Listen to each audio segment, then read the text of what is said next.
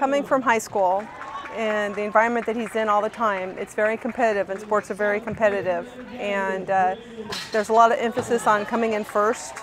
And Andrew has, um, that's never been an issue with him. I think he likes it here at Special Olympics because he, he feels it doesn't matter where he, where he finishes, that, you know, he's just happy competing.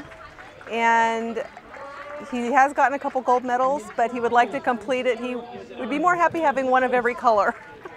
he doesn't really care about, you know, the gold. I don't think he even, you know, realizes the gold is for first, but um, he usually every time he gets one, he's like, well, darn, I want, I want a different colored one.